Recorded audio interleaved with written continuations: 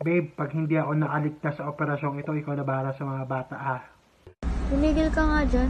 Kung kailan tatlo na anak natin, saka mo naisip ang magpatuli.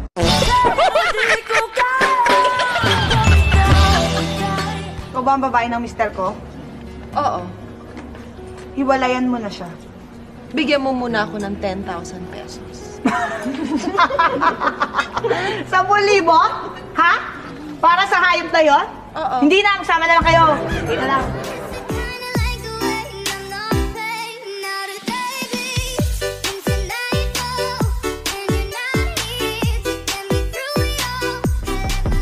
I've been trapping on my own.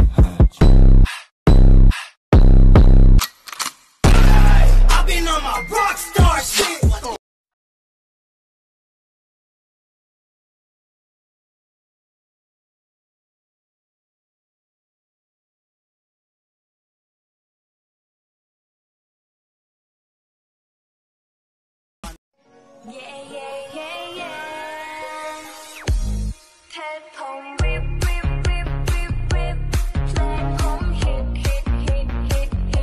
mag-alala, makukuha rin kita, makukuha rin kita, makukuha rin kita.